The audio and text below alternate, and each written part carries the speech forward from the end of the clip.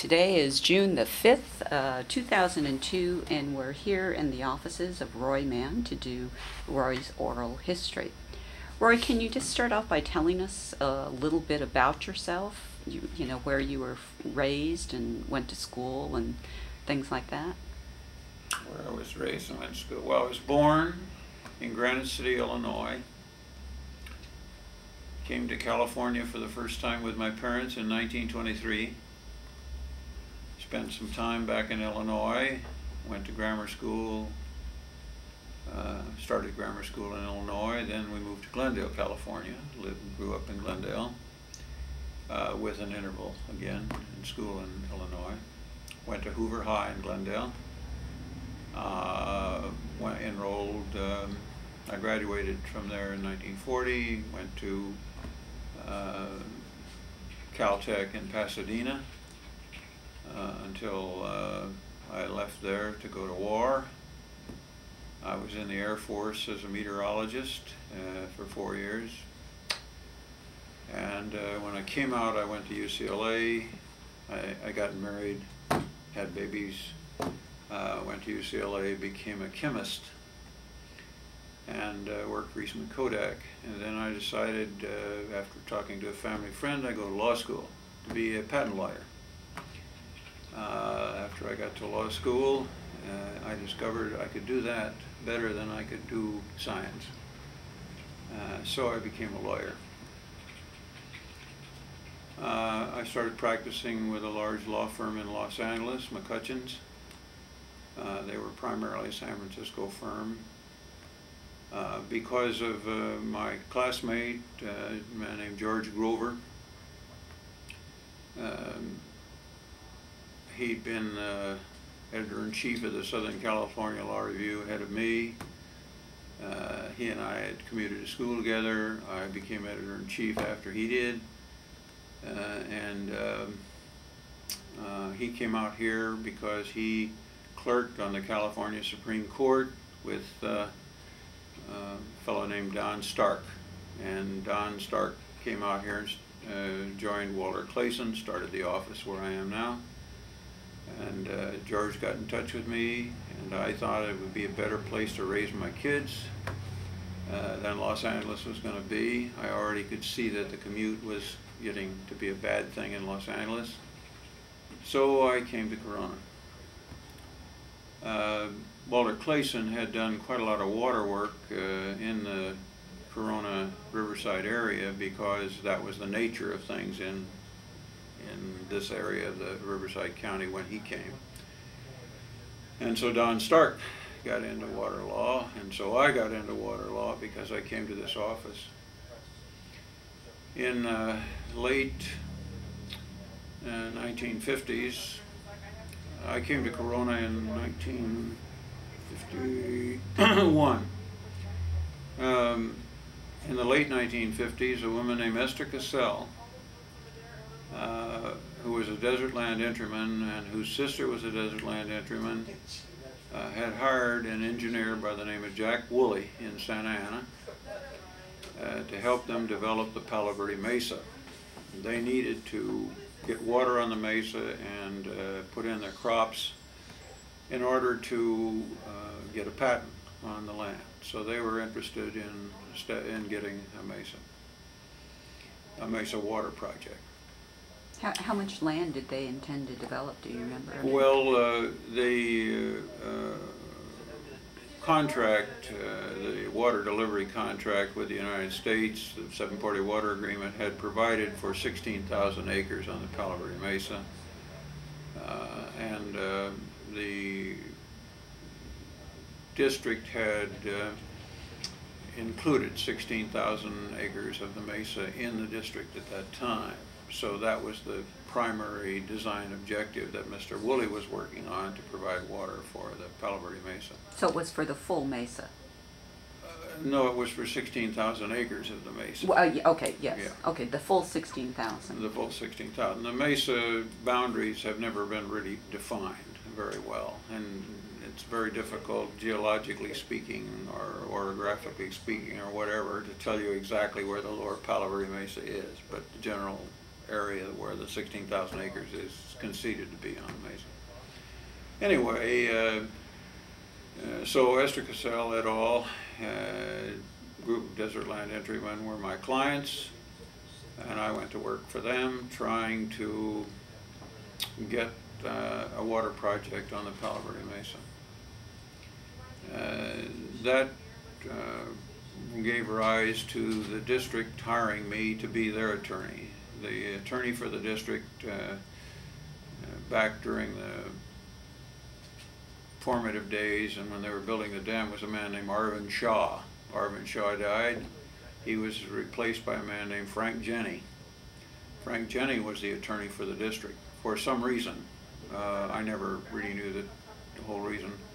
Uh, the board had become disenchanted with Mr. Jenny, and so they saw this new attorney who was working to get the Mesa water, and they wanted to hire me. They wanted me to come to Blythe, but I didn't want to go to Blythe. Uh, in fact, I had no intention of going to Blythe. so they went ahead and hired me anyway. And this was? And that was be in uh, summer of 1962. Uh, after I became the district attorney, I continued to work and try to get water for the Mesa. That was primarily uh, the, the biggest thing that they were doing at that time.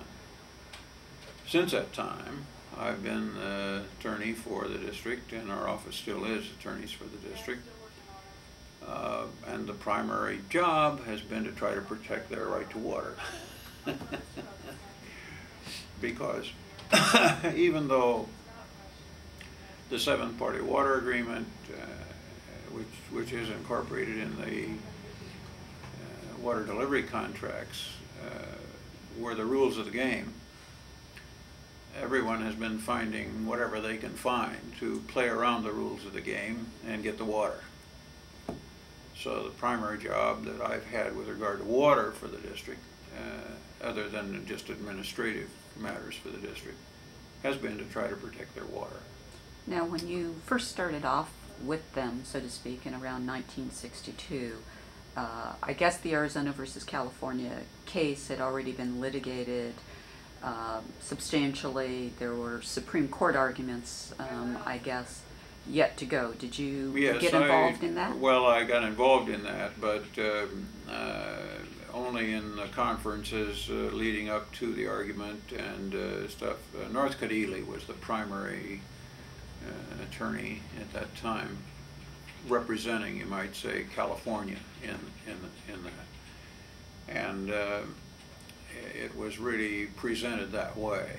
And I participated to the same extent that other attorneys participated, but uh, we did not argue the case, uh, nor did we submit a separate brief.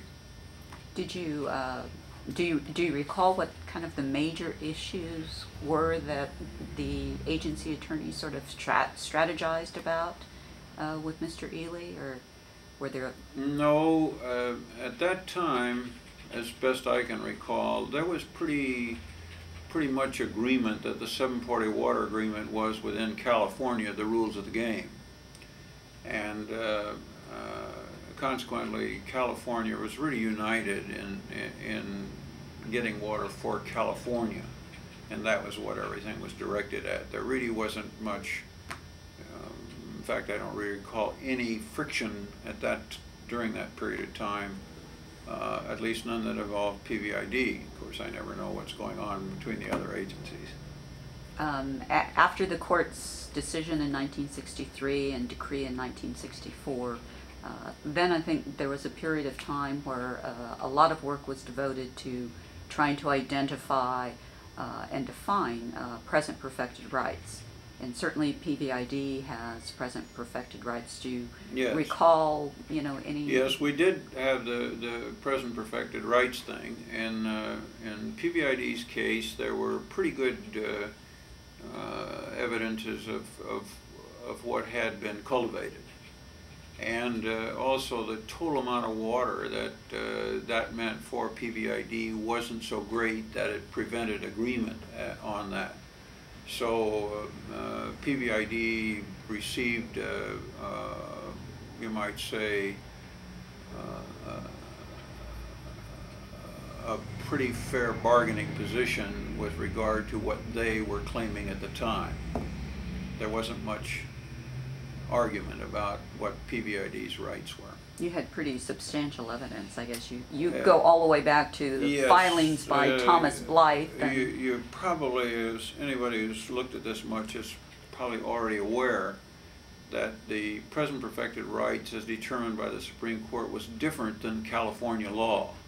Right. Uh, when they finally came down, California law would have protected the prior filings uh, until they were perfected. And uh, there was some uh, recognition of that, particularly the Palo Verde Mesa, uh, in the agreement that the parties made. Then the Supreme Court came along and announced present perfected rights. Uh, to this day, I don't think there's agreement among the parties as to uh, exactly what present perfected rights are.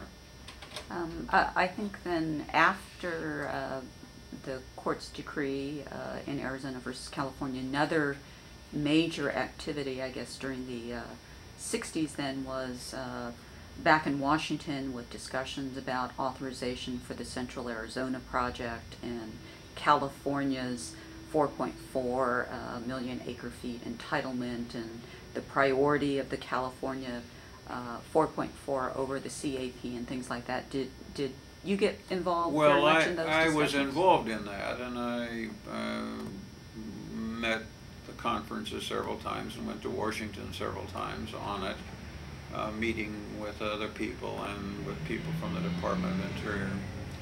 But in all of these things, MWD was really the leader.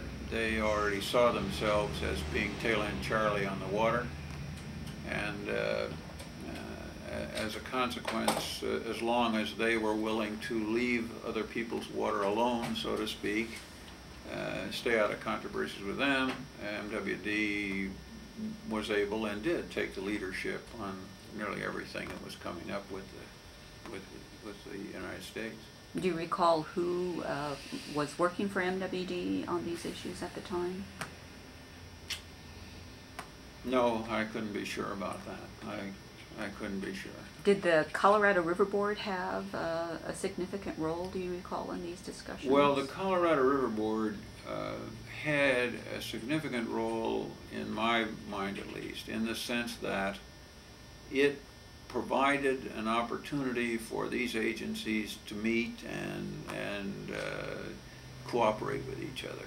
As, and, and has over the years, I think, avoided fights among the agencies themselves over the water. I think that, that the Colorado River Board really has helped a lot in, in that cooperation deal. Mhm. Uh, At the same time, I feel that they have allowed the uh, MWD uh, to take the lead on most water issues. Uh, And again, because MWD was tail end Charlie, I think that was fair. No one really had any objection to that, as, again, as long as MWD left them alone. Uh, I, I recall reading recently some um, historical um, documents around the seven-party agreement uh, period of time, and I, I think that PVID at that time, or representatives for PVID, were taking the position that they ought to be allowed to transfer uh, their water rights. Did you ever have occasion to look back at some of those issues? No. Uh, During my time with PVID, I don't think any of the trustees have, have ever brought up the subject of being able to transfer the water rights. Okay. As far as I know with them, it's been, they never thought of, of present perfected rights in that way. Okay. Um, a- Another major issue, I think, on the Colorado River generally during the um, early to mid uh, 60s um, are the, some issues with Mexico and salinity on, on the, on the Colorado River.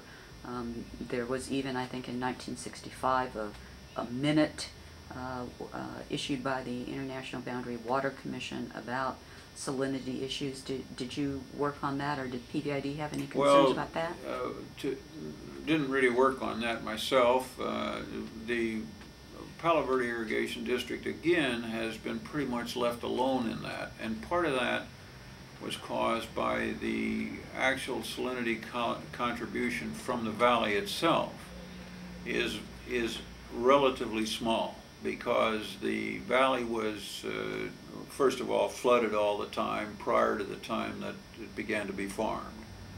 And uh, I understand there was even Indian farming in there on the flooded lands. And then after it started, uh, because there's always been return to the river, uh, and because they've been irrigating for quite some time, they already had pretty much leached the soil. So about all the mineral content that goes back into the river from Palo Verde is actual not leaching from prior deposits, uh, but just whatever minerals are left in the water after the plant takes the water out. And that's not been a real serious problem. Uh, the, the real problem that's been discussed a lot was the irrigation of lands that had a pre-existing salt content. So that you not only were returning the, the, the salt that resulted from agriculture, but you were also returning salt in the process of reclaiming the land. So PVID has never really been in that category. Some reclaimed land existed at the, in the Palo Verde Valley, but it wasn't extensive, so it's never been a real controversy with anyone. Okay. Um, operating criteria, I think in nineteen, uh, late nineteen sixties, early nineteen seventies, uh, the secretary uh, solicits views of uh, water users in the states and so forth on criteria by which uh, he should operate um, the rivers, or the river, actually. Um, did PVID have much of a role uh, in No, those not to discussions? my knowledge. They, they never took much of a role in the operating criteria. Palo Verde Irrigation District, as long as nobody has challenged their first priority, uh, generally is in a position to sit back and look at those issues, uh, leave those issues to the people that it, that it will influence. Right. Um, one, I guess, relatively uh, recent uh, issue where I guess there's been some discussion about uh, with regard to how uh, the priorities uh, flow, so to speak, would be the Endangered Species Act and what, if any, obligations do the agencies have despite their priorities. I think I've heard you express the opinion. Yes. PVID is uh, very concerned with the Endangered Species Act. PVID diverts water uh, into the canal directly from the river. And uh, uh, to the extent that uh, the, the river is considered a, a habitat for an endangered species, it could be contended, of course, that the canals themselves are in a way an extension of the river. And of course, they take water out of the canals. And they also return water to the river. So the, the uh, involvement of the PVID is to uh, watch, again, that agriculture gets protected so that they can continue to operate. Uh, And uh, they, so they have been concerned, uh, because every once in a while, somebody pops up who uh, wants to take the endangered species to its extreme. For example, uh, at PVID, uh, in the canals, we don't see any dead fish, not ever. So taking the position that somehow the canal uh, damages endangered species is, is kind of hard to support if you don't produce any dead fish. And they just don't produce any dead fish. Uh, they do produce sometimes when they drain a canal completely, of course, because then they run out of water and whatever fish are involved in that. So uh, it's always been my assumption that, that uh, PVID is one way or another entitled to a, uh, whatever they call it, permit, uh, uh, limited or has some name. Anyway, that they'd be entitled to that. And what the problem for PVID has been, and still is, is that uh, if the final arrangement that is made requires amounts of money to support endangered species uh, mitigation, uh, PVID will be asked to make a large contribution because they use a lot of water, not because they hurt the species, Mhm. but because if the burden is cast on the people who use the water, uh, then PVID's share will be based on water rather than on any damage that they're doing to the environment or to endangered species. Although PVID's use of water in comparison to some of the other districts is not, uh, it, it's certainly it's not as large as It's uh, quite a bit. Imperial a or larger than. MWD's. Um, one kind of interesting uh, transaction uh, that I recall uh, involving PVID related to providing water to a possible power plant uh, out in Blight, as I recall. That Yes, San Diego Gas and Electric uh, came to the Palo Verde Irrigation District and they had plans to build an atomic uh, generating plant. Uh, and They were going to build it on uh, what is probably part of the lower Palo Verde Mesa, although, again, the boundaries of the mesa are open to question. And uh, their proposal uh, was a very good proposal in the sense that what they wanted to do was take water from the Palo Verde drain. The Palo Verde drain is the high mineral content water that comes out of the district after it's been used for agriculture. And consequently, the use of that water is much to be preferred over taking water directly from the river. Uh, It depends on what they do with the, with the residue of their own cooling operations, but uh, that was a very good proposal. But does that reduce return flow credits? Well, uh, uh, it would reduce the return flow credits, uh, but Palo Verde Irrigation District is not, uh, uh, does not have a discrete amount of water which is entitled to divert from the river. So it would, it would not affect that. And, and also San Diego Gas and Electric at all times planned to get everybody's consent. They never Mhm. intended to build such a plant without everyone agreeing to it. Mm-hmm. But it was a good project because uh, they were gonna take water from the drain and not require the use of good water, so to speak. Well, what, what uh, they also um, uh, offered, uh, and part of their project was to uh, uh, take land in the, in the Palo Verde Valley itself. And they were going to fallow that land in order to justify the water that they were going to take out. So they made a deal with the PVID. PVID thought it was a good project. Uh, They, they also made uh, a number of arrangements with regard to uh, protecting the land and adjacent farmers. Uh, So they entered into an agreement with regard to that. They agreed to pay, continue to pay the water tolls, so overall, the, it was a deal which the district approved. Was this the first time that you recalled that a land fallowing kind of arrangement was um, brought to the PVID board? No, that would have, would would have been forty years ago when I started suggesting that P, that MWD buy the land and, and uh, fallow it if they wanted to. Uh, No, it has come up from time to time over the years. Uh, Everybody uh, has always realized that uh, uh, MWD being tail end Charlie, that if somebody upstream didn't use the water, it'd go to MWD. And that was one way to do it. Tell us a little bit about PVID, I guess, it, itself and, and some of the, um, I guess, uh, figures, leaders that, of PVID that stand out in your mind. Well, I think the main thing about PVID that uh, big city people might not understand is that PVID, while it is a public agency, really uh, is is run by the farmers. It's a district of limited powers, and uh, they have stuck strictly to that. Uh, they don't do anything else. They provide water, so it's it's kind of like a private water company, but it's a public agency. And uh, the board has always been comprised of, of uh, since I've been their attorney, Uh, the board has always been comprised of people who actually paid the, the fare. The very people who pay the water tolls. When they, when they vote a water toll, they're the very people who are going to pay the biggest share of that.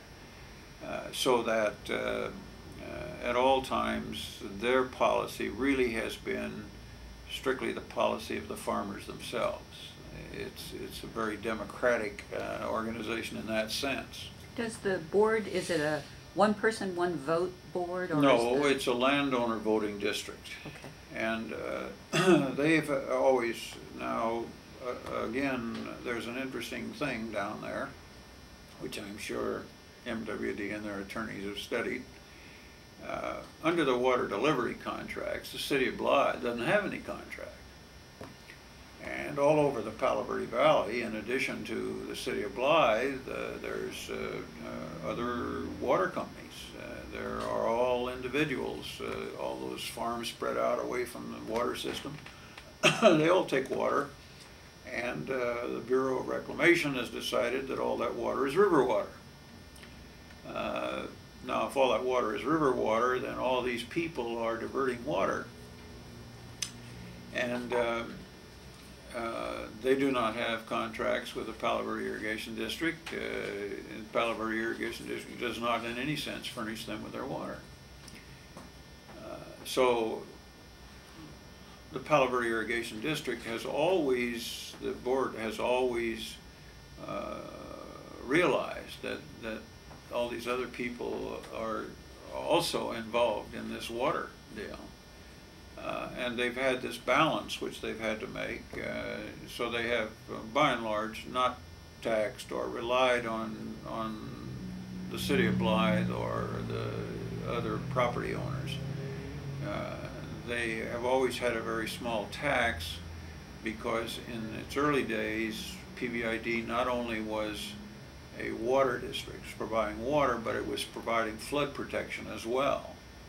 And the flood protection, and they still do to some extent. The flood protection, of course, is for the benefit of everybody in the valley regardless. And as the water law has developed, as the rules of the game have developed, uh, the people in the valley, all of them, are dependent on the Palo Verde Irrigation District's water rights. Uh, But the board has always, uh, you might say, put all the burden, or nearly all the burden uh, of the district's operation on the farmers themselves. Tell us a little bit about some of PVID's leadership. I mean, recently, of course, uh, PBID lost Virgil Jones, who was a, a longtime leader uh, of PVID. Well, um, when you say Virgil was the leader of PVID, you're saying something about farmers that isn't correct. Uh, A board, the PVID board anyway, uh, being composed of farmers, uh, they are uh, independent people. Uh, they uh, don't get led very well. Uh, it's like the uh, uh, commercial uh, where they're trying to herd cats.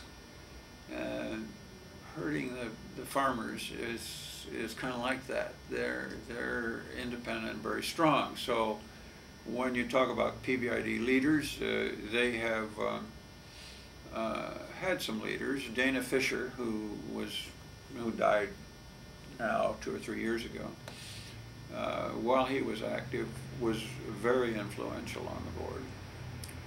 Uh, and um, uh, others,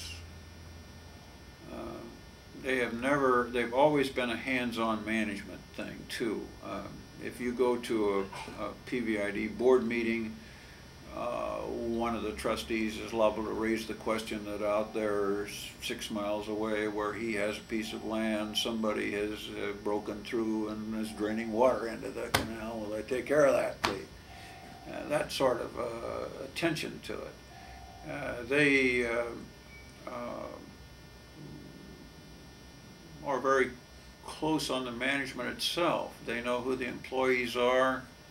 Uh, So it's an unusual kind of situation in, in that, that leadership on the board uh, trustees there is kind of the board itself. Now, that's not to say that some individuals on the board haven't uh, exerted more influence over it. And um,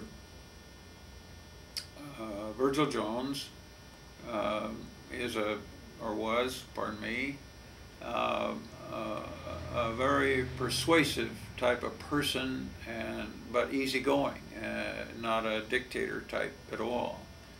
And uh, he was uh, uh, uh, a long time uh,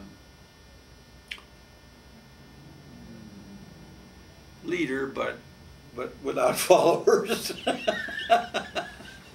He, he was on the board for many years, right? Oh, yes, sure, sure. He was on the board many years. Well, but, but you also have to realize that in a landowner voting district, the large farmers can elect themselves to the board. And they do. Do the, uh, uh, do the board meetings draw a lot of uh, public input from the uh, other farmers? uh, Come often to the PVID board to express their views? No, uh, generally my experience with PVID would be that a landowner with a complaint approaches one of the board members themselves, and the board member brings it up. Very seldom does anything come up at the board uh, that they didn't know about. And uh, there have been almost no times during the time that I've represented them uh, that there have been any hostility uh, evident uh, from any appreciable group of people. There are always somebody who disagrees with something, but uh, generally speaking, no, there haven't been any real dissent on it. They, they've always looked at their job as furnishing water, and that's what they do. And, and they don't do much else. I mean, they try not to do anything else. Um, my recollection is uh, most of the farmers, so to speak, in PVID are they're not absent. There are not a lot of absentee landowners in PVID, are there? I mean, most of them are I, are there. I really can't answer that. I, I, I never, I don't know of a, of a survey. I know that there are uh, now in the Palo Verde Valley a number of uh, uh, uh, corporate ownerships. Uh, and I guess you'd call those absentees. Mhm. Uh, but generally speaking, farming is a hands-on operation, and generally speaking, whoever would be on the board would be somebody that was involved in the hands-on operation. Mhm. You have, uh, I, I would imagine in PVID there are uh, families where the land is sort of passed from generation to generation to some extent. Yes, Um, there are some, but again, as far as I know, nobody's ever made a record of any of that. Anyway, other leadership that you wanted to ask about, um, uh, other people that I remember, there, there was a man named Underwood who was uh, chairman when I uh, came there first. Uh, and uh, he was a good leader. The presidency uh, of the board has, has varied over the years. And the board was pretty steadily the same people for many years. There was very little change in the board.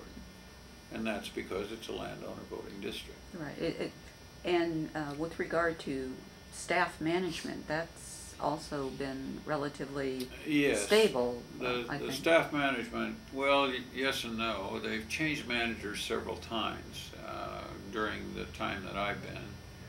Uh, There was a man named Simpson who was the manager when I first came. And uh, then uh, uh, I believe he was replaced by, by, by uh, John Blakemore. And then he was replaced by Virgil Jones.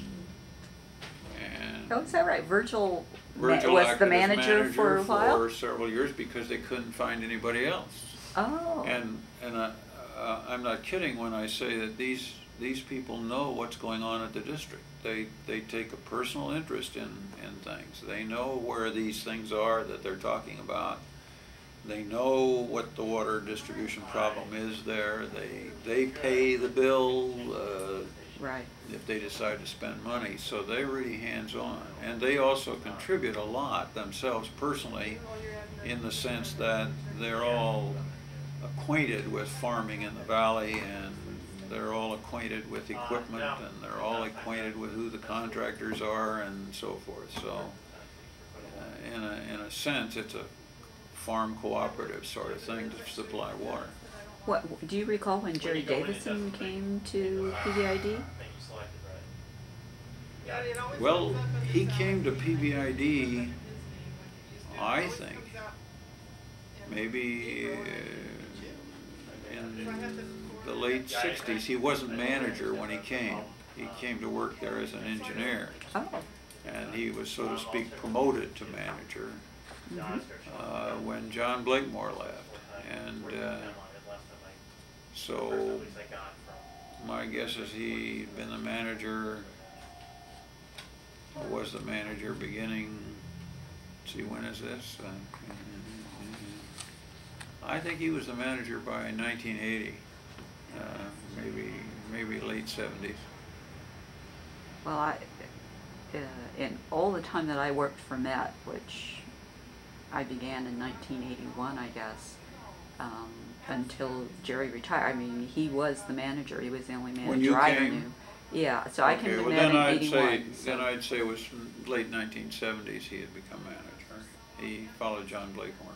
so there's, there was there's a period of great stability there, I guess, he was there for Well- quite some time then. The, the, uh, the way the board operate, uh, has always operated, is they, they've been so much hands-on, uh, that uh, a good bit of the manager's time is spent, uh, trying to do what the board wants done, as opposed to manager planning what, what the district should be doing.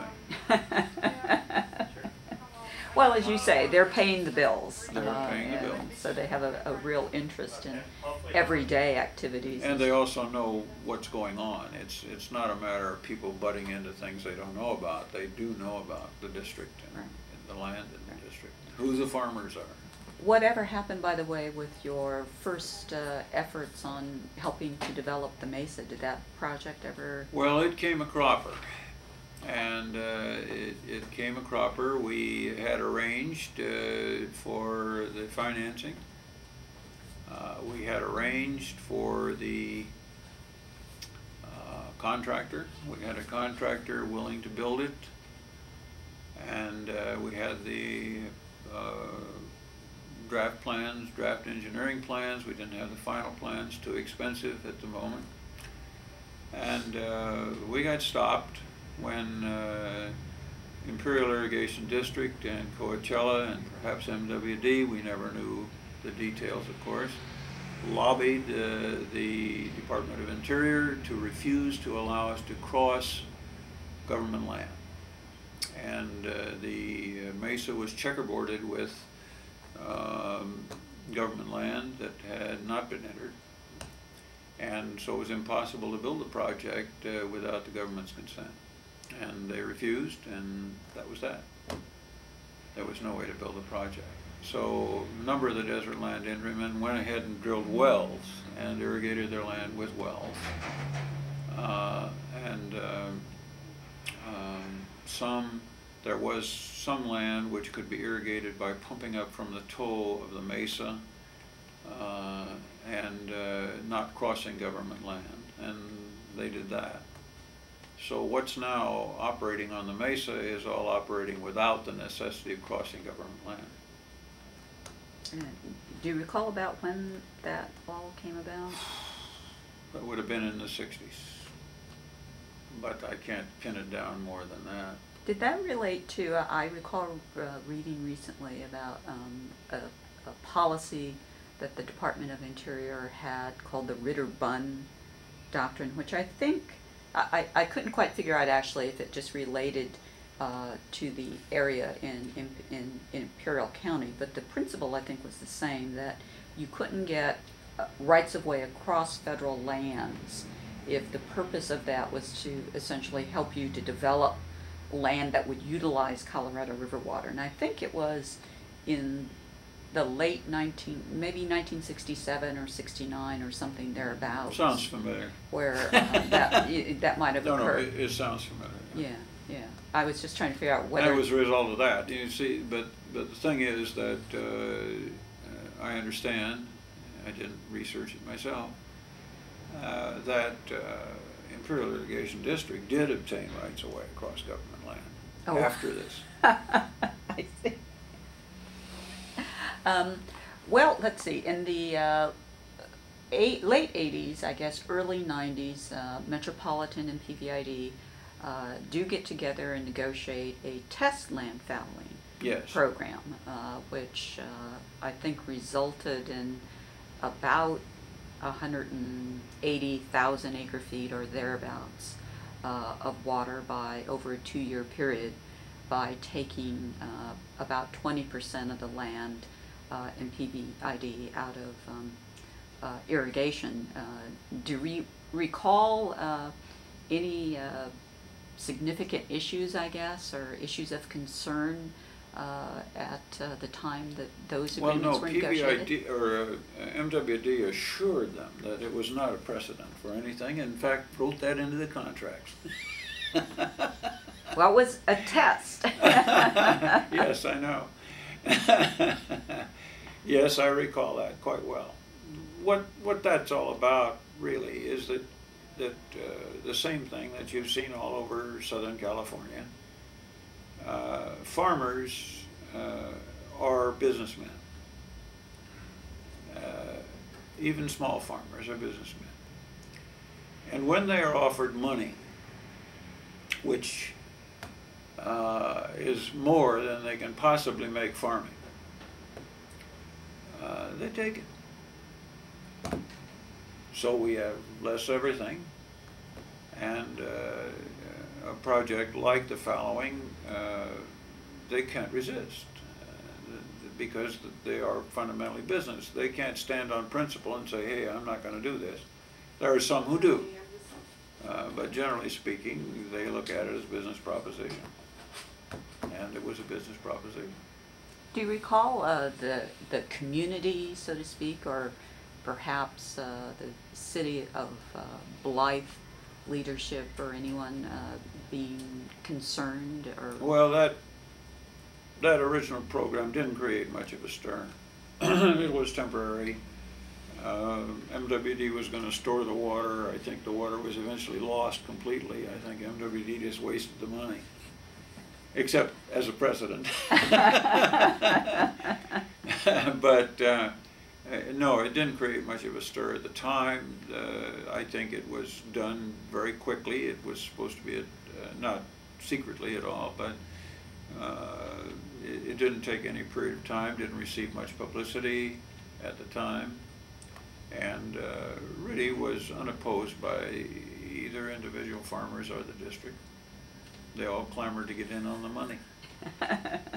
Well, I guess as you say, they're, they're business people and they have to look at the economics of, of things and uh, here was a potential Well, you only- guaranteed source of income. But look, I, you know, in the, in this same time period, you can't blame those farmers when you see what's happened to citrus. I mean, uh, pure and simple, how can you turn down a hundred thousand dollars an acre when you can only make two or three hundred dollars an acre off of it farming? Right, You right. can't do that. Uh, So, it's just the same thing exactly It's been going on all over Southern California. Tell us a little bit about uh, your thoughts on the Colorado River Board. A little earlier, um, you talked about, uh, you know, one of the useful things which they've done over the years is to provide, I guess, a forum for the agencies to try and work out, you know, some of the issues. Uh, the board uh, has had some uh, colorful uh, folks uh, that have uh, been both staff and, and board members. Do you recall any that Well, uh, particularly stand out? Uh, Do any of them stand out? in your mind In my mind. Uh, for any reason. um, No, I, I really wouldn't say any of them stand out. Um, The, of course, those individuals stand out that the circumstances make stand out sometimes. Uh, I've really felt the Colorado River Board's main effectiveness, uh, first of all, uh, the staff has provided a means by which uh, communication is kept up with the government and other states on essential items. And without that, uh, I don't know just who would do it. Uh, dealing with the individual contractors doesn't really work because it affects all the contractors. And so having the staff uh, available to, first of all, compile the information, to be the communications and so forth, I think that's been really good. The other thing I think that's been really good about the Colorado River Board is people will not do to your face what they'll do behind your back. And having the uh, interested California parties uh, belonging to the same group and having a leader from each group or a representative from each group there, uh, I think enables them to work out things that might not have been worked out if it hadn't been for the Colorado River Board. So I think it's done some good internally as well as externally. Its powers are theoretically limited to uh, dealing externally. Uh, but in fact, uh, it's served a real purpose internally, I think, in, in that it's gotten a lot more cooperation between everybody than would otherwise have been the result. But as far as outstanding leaders go, uh, I don't think on the board itself there really have been outstanding leaders. Uh, I think that the staff from time to time has, has done a really good job. Um, as you look back on, gee, nearly 40 years, I guess, of, of work uh, representing PVID on various Colorado River matters. Um, what what do you think? It's 40 is, years this year, you see. That's right. What what do you think is uh, the most uh, significant accomplishment, or the one that you're perhaps proudest of? Of me? Yes. Palo Verde Irrigation District is still entitled to the same amount of water it was when I came. and that will be your legacy, is that right? no, my legacy is about to fall. And wh why is that? Because they're about to contract to give it away. Uh, I'm not sure I understand that. I, they are in the process of negotiating a contract in which Verde Irrigation District, first priority water, will go to MWD. Uh, but through a land management or a fallowing arrangement that. Of course, if you don't have the water, you can't farm. it Just depends on the order in which you look at it. Um, I, I uh, didn't realize when we first began and you started talking about uh, how you sort of started off in, in uh, the water arena. You mentioned Don Stark and, you know one of your founding partners, Mr. Clayson. Um, can you just tell us a little bit about? Do you have other? Uh, have you worked on other water issues, non-Colorado River related? Oh, sure. Uh, in uh, in this area, when I first came here, uh, there were still a lot of water problems in the sense that who's got the right to the water. Uh, and so we represented various clients. We even had clients fight over who gets the water from a particular well. Uh, we had uh, the uh, Chino Basin uh, litigation in which uh, uh, Don and George and I participated. we have, as I say, water companies that we represented. they've been gradually drying up as public agencies have taken them over but uh, representing a number of small water companies and the fights, there were fights about, uh, oh, um, a private water company interfering with the distribution proposals uh, or systems of a public agency or a public agency interfering with a private agency. Uh, there have been uh, the organization of uh, various water companies to take care of it, uh, that is to provide water for particular areas. Uh, we went through all this thing with development and the, you, the mutual water companies. We used to form mutual water companies in order to provide water to tracts. We did that a lot. Uh, but as time has gone by, uh, the rights to water themselves uh, has kind of dried up in the sense that it's pretty much settled. You, we very seldom anymore have disputes between people as to who owns the water. it's all pretty much settled uh, in this area anyway. And so most of the water work now involves uh, administration, uh, uh, trying to comply with all the laws, trying to worry about environmental problems, trying to, uh, doesn't involve water at all except indirectly. Um, has your own practice uh, been primarily through all these years, though, water, uh, water-based? No, or- no, I would say my primary practice over the years has been uh, business and corporate practice primarily. Oh, I see. Well, a- as you look back um, on water issues generally, um, do you think that the uh, developments and the evolution of, uh, of water rights uh, in California has been, um, uh, it- did it go in the right direction, so to speak, or? Did it go in the right direction?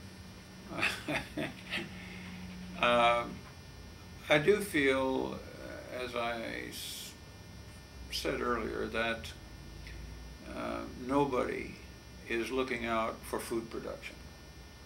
The, uh, in California.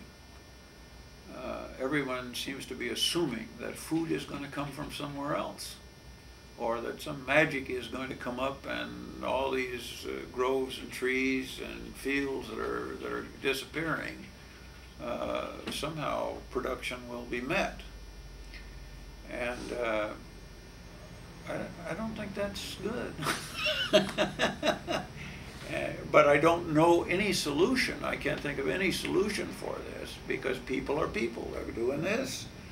And um, that and, and PVID is involved in that to some extent now, uh, because, um, uh, basically, uh, the Southern California metropolitan area wants more water, and they don't give a darn about whether that gets rid of agriculture or not.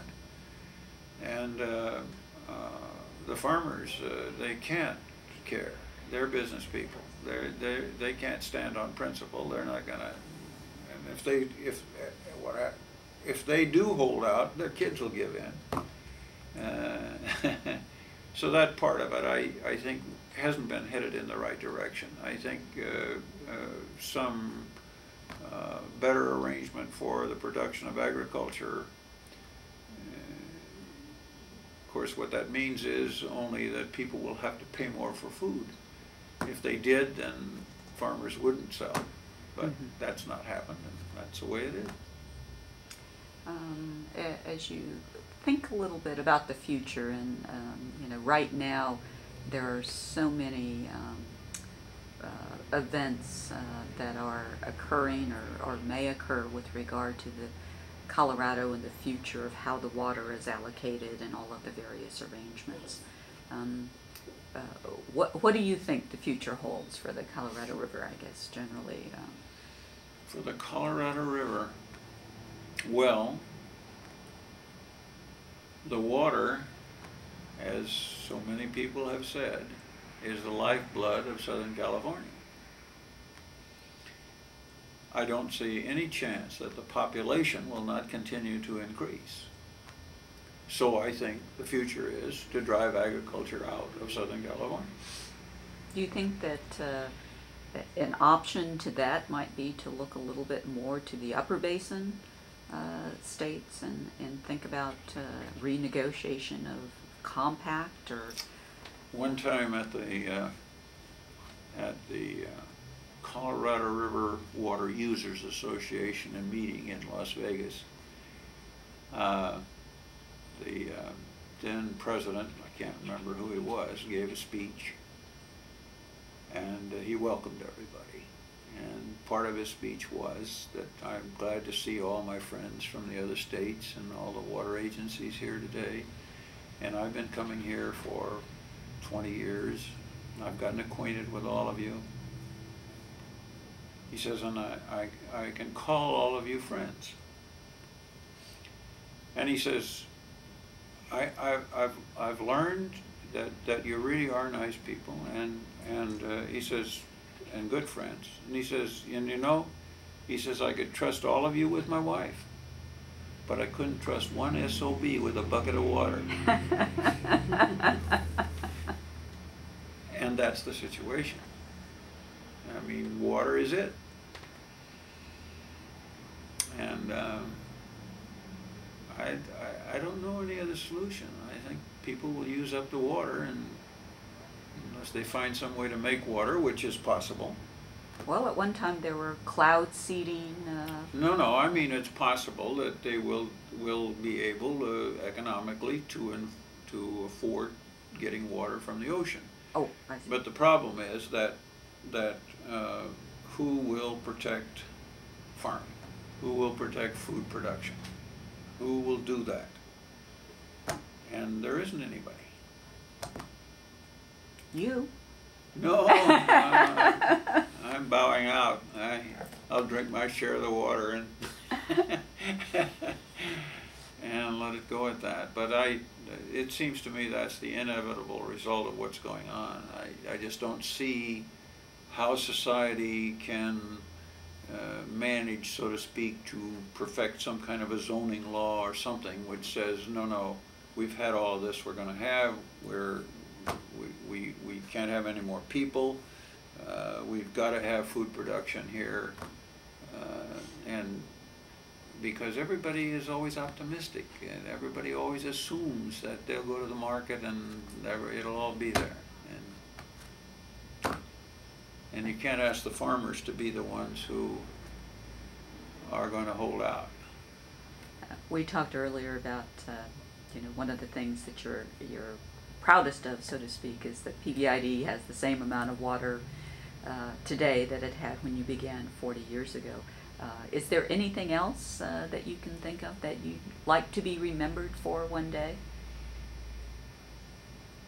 With regard to PVID, you mean? Well, with regard to water issues, shall we say? Well, with regard to water issues, uh, no, I, I wouldn't say that. Uh, um, Everything that I've worked on has just been what I would regard as routine over the years.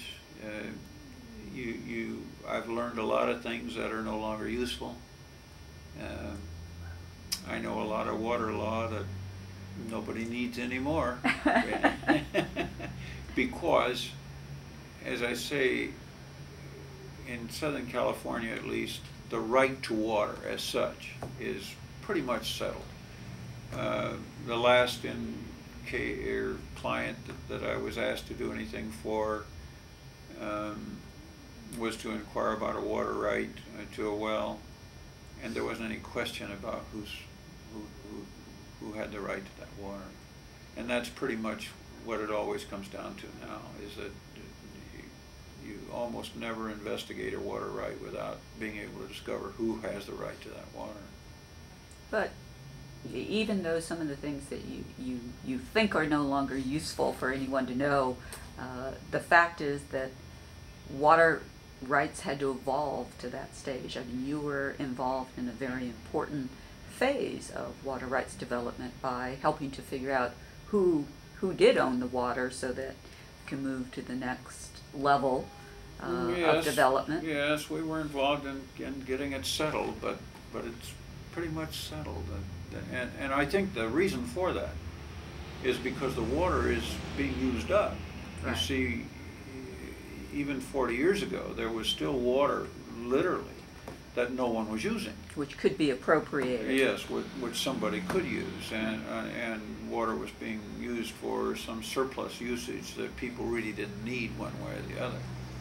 And, but, uh, the economics of water has just caught up with that, and, and so now, uh, more and more, all the water has been spoken for, and legally spoken for, and so forth. So it's very seldom now that, that you can't tell who owns a particular water right. Right, right.